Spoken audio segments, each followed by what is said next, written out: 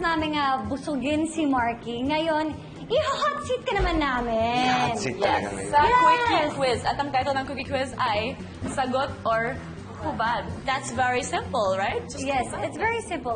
Okay, let's start. What color would you want? Start muna tayo sa blue. Blue. Blue. Iyan na lang nagbasa. Basahin ko.